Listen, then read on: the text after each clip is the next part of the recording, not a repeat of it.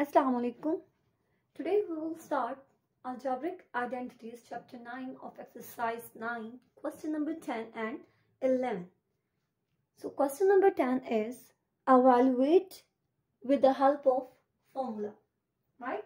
आपके पास कुछ parts दिए होंगे आपने उनको evaluate करना है by using different identities. You can see that the first part is 5 7 multiply 5 7. There are three parts in this question I will solve only the first part. 5, 7, 57 multiply 57. As you can see that कितने times है ये? Two times और आपस में क्या हो रहे हैं?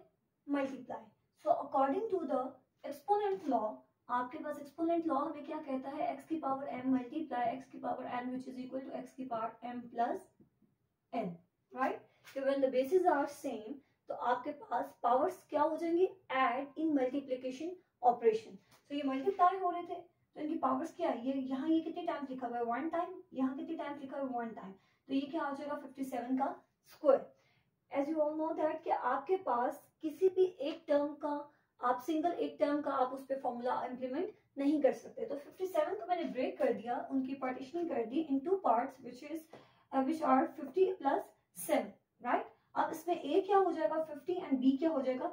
7 apply this identity a plus b का whole square which is equal to a square plus 2ab plus b square आपने ये फॉर्मूला इस पे अप्लाई कर दिया a is 50 and b is 7 so उसके अकॉर्डिंग इसको सॉल्व करें 50 का स्क्वायर मींस a का स्क्वायर 50 का square plus 2 into 50 into 7 plus 7 का स्क्वायर 50 का स्क्वायर 2500 प्लस 2 को 50 टाइम्स मल्टीप्लाई करें 100 100 7 सा 700 7 का स्क्वायर 49 इन सबको ऐड करेंगे we get three thousand two hundred forty nine similarly second and part second and third part उसमें भी आपने uh, यही आइडेंटिटी को यूज़ करना है ए प्लस बी का square which is equal to A square plus two A B plus B square इसकी identity को इम्प्लीमेंट करें उन दोनों पे और उसको आप इजीली सॉल्व कर सकते हैं।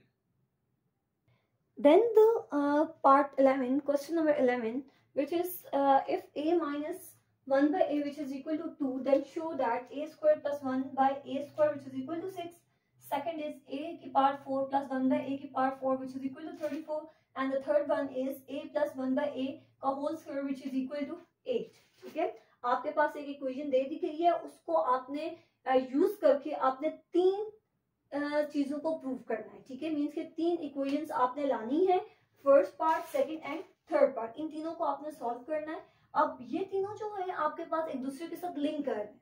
ठीक है, वो लिंक क्या कर करें कैसे करें वो मैं आपको बताती हूँ। आपके पास देखिए फ़र्स्ट पार्ट क्या A square plus one by A square which is equal to six इसका क्या मतलब है, आपने इस इस एक्सप्रेशन को, इस इक्वेशन को आपने लेना है और ये वाली चीज़ प्रूव करनी है right so consider the first equation इसको हमने कह दिया कि this is the first equation A minus one by A which is equal to two equation number one का नाम दे दिया राइट टेकिंग स्क्वायर यहाँ आपके पास स्क्वायर था तो इसका मतलब है हमें स्क्वायर चाहिए होगा तो taking square on both side हमने बोथ साइड पे स्क्वायर ले लिया। आपके पास क्या आ जाएगा? A minus one by A का whole square which is equal to two का स्क्वायर अब इसमें क्या है? आपके पास ए क्या है? ए बी क्या है? वन बाय ए आपके इसमें सिंपल इसमें आइडेंटिटी को इम्प्लीमेंट करें। ए माइनस बी का होल स्क्वायर की आइडेंटिटी को। A square minus two A B plus B square वो हमने अप्लाई की। A square minus two into A B A और बी क्या था? वन बाय ए सो ए दोनों एक दूसरे के इन्वर्सेस में ये दोनों कैंसिल तो आपके पास क्या बचेगा? A square minus two plus one by A का square so A square minus two one का स्क्वायर वन और ए का square A square one by A square two का स्क्वायर क्या हो जाएगा? फोर टू का स्क्वायर का क्या मतलब है? टू यहाँ कितनी टाइम्स है? टू टाइम्स तो two multiply by two which gives you four तो अब ये देखिए आपके पास ये यहाँ माइनस टू है ऑपोजिट साइड पे जाके क्या हो जाएगा? Plus two square plus 1 by a square which is equal to 4 plus 2 uh, we get six A square plus one by A square which is equal to six देखिए, हमने यही चीज़ prove करनी थी, हमने इसको कंसीडर किया और ये चीज़ प्रूव कर दी हेंस प्रूव फ़र्स्ट पार्ट आपका प्रूव हो चुका है। देन अब जो आपने प्रूव किया है, उसको आप इक्वेशन नंबर सेकंड का नाम दे दें, ठीक है? मैंने उसको इक्वेशन नंबर टू का नाम दे दिया सेकंड का नाम दे दिया। अब इसको यूज़ करेंगे फर्दर सेकंड और थर्ड पार्ट को सॉल्व करेंगे। अब वो कैसे करेंगे?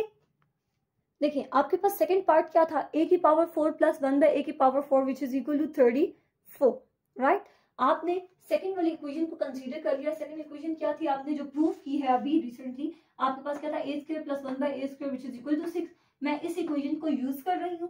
तो आपके पास यहाँ क्या था? ए फोर यहाँ तो आपके पास स्क्वायर है। So what we can do हम क्या कर सकते हैं? आपने taking square on both side both side पे आप स्क्वायर ले लो। आपके पास क्या आ जाएगा? A square plus one by A square का whole square which is equal to six का स्क्वायर राइट अगेन आपके पास देखिए आइडेंटिटी इस पे इम्प्लीमेंट हो रही है but positive A square plus two A B plus B square वाली.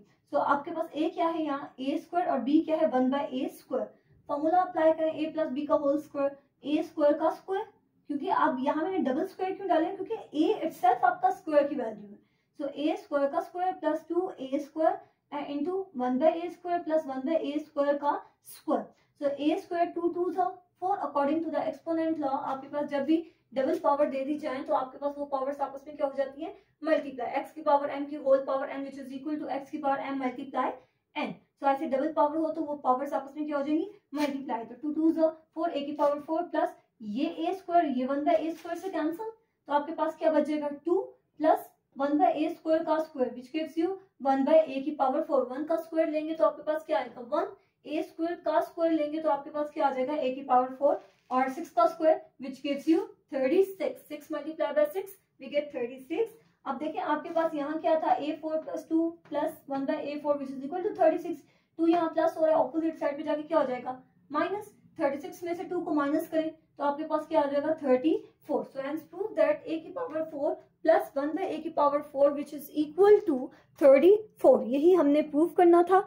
Then comes the third part third part आपके पास क्या है? A plus one by A का whole square which is equal to eight आपने ये चीज़ प्रूव करनी है right consider the equation two ये जो आपने इक्वेशन टू प्रूव की थी जिसको हमने इक्वेशन नंबर टू का नाम दिया उसको आप अगेन कंसीडर कर ले which is A square plus one by A square which is equal to six right you can see that इसमें आपके पास ए स्क्वायर भी है plus one by A square भी है।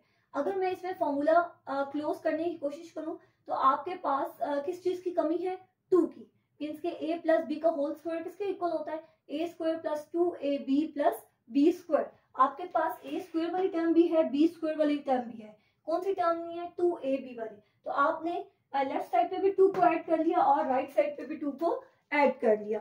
Right right? सो so, आप जब राइट साइड पे टू को ऐड करते हो तो वो सिक्स प्लस टू क्या हो जाएगा? एट लेफ़्ट हैंड साइड पे आपके पास क्या हो जाएगा? A square plus one by A square plus two इसको रीअरेंज करके लिखिए आप। आपके पास क्या था? ए स्क्वायर अब two into A into one by आपको ए बी चाहिए थे ना? A square plus two A B plus B square और ये किसके इक्वल होता है? ए ए प्लस बी का होल स्क्वायर राइट अब देखिए, आपके पास टू भी हमने ऐड कर लिया था।